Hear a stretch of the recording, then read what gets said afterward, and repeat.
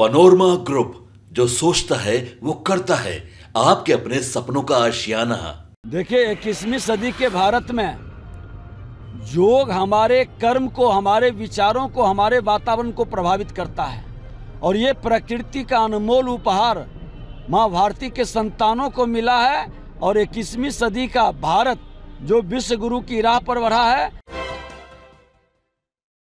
नमस्कार, देख रहे हैं आप सिटी पोस्ट लाइफ और मैं हूँ आपके साथ Pooja Sharma. NEET paper leak मामले को लेकर विवाद बढ़ता जा रहा है। आरोप प्रत्यारोप का दौर जारी है। इस कड़ी में बिहार के उप मुख्यमंत्री विजय कुमार सिन्हा, तेजस्वी यादव पर हमला पर है और इस पेपर लीक का तार जो है वो तेजस्वी यादव से जोड़ते हुए नज़र आ रहे हैं। कल भी उन्होंने प्रेस कॉन्फ्रेंस के माध्यम से तेजस्वी यादव के सरकारी पीए प्रीतम सिंह पर काफ़ी गंभीर आरोप लगाए थे और यह भी आरोप लगाते हुए कहा था कि ये जो गेस्ट रूम बुक कराया गया है, ये पीए जो है उनके तेजस्वी यादव के प्रीतम उन्होंने करवाया है। काफ़ी गंभीर आरोप लगाते हुए नज़र आए थे, जिसके बाद आरजेडी राज्यसभा सांसद मनोज झा ने सफ़ाई दी थी। अब उसको लेकर एक बार फिर विजय कुमार सिन्हा, तेजस्वी यादव और आरजेडी राज्यसभा सांसद मनोज झा पर हमलावर नज़र आए और साफ़ तौर पर कहते हुए नज़र आ रहे हैं कि मनोज झा जैसे लोग जो हैं, वो काफ़ी विद्वान लोग हैं। वो लोग पद के लिए, पैर पकड़ने के लिए भी तैयार हो जाते हैं। हम लोग अपने स्वाभिमान को छोड़ते नहीं है। विजय कुमार सिन्हा ने साफ़ तौर पर ज़बरदस्त निशाना साधा है मनोज झा पर। इसी के साथ साथ तमाम मुद्दों को लेकर क्या कुछ कहते हुए नज़र आ रहे हैं? बिहार के उप मुख्यमंत्री विजय कुमार सिन्हा पहले आप ये पूरा बयान सुने। संदेश देने के लिए। देखिए इक्कीसवीं सदी के भारत में योग हमारे कर्म को हमारे विचारों को हमारे वातावरण को प्रभावित करता है। और ये प्रकृति का अनमोल उपहार माँ भारती के संतानों को मिला है। और इक्कीसवीं सदी का भारत जो विश्व गुरु की राह पर बढ़ा है देश के माननीय प्रधानमंत्री जी ने विश्व को ये उपहार ही नहीं दिया।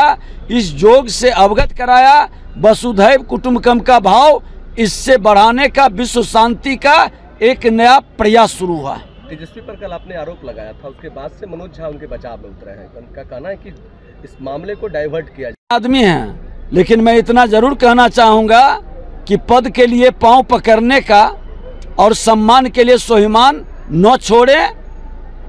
आज राजद का जो कल्चर है अपराधी भ्रष्टाचारी को पोषित करने का उसको प्रशिक्षण का और पोषित करने का ये मानसिकता से मुक्त हों क्योंकि जब तक ये मानसिकता रहेगा बिहारी को गाली शब्द ऐसे लोग बनाते रहेंगे और बिहारी का स्वाभिमान को बढ़ाने का आज हम सब की जिम्मेवारी है सत्य को स्वीकार कर करके गलत नकारात्मक मानसिकता से मुक्ति का अभियान चलाना चाहिए आरक्षण के मामले में क्या सुप्रीम कोर्ट जाएँगे जिस तरह से हाईकोर्ट का निर्णय आया है? देखिए अभी बताया गया है हमारे अध्यक्ष ने बयान दिया है। हम्म। उसका अध्ययन किया जाएगा अध्ययन के बाद फिर निर्णय लेगी लोग।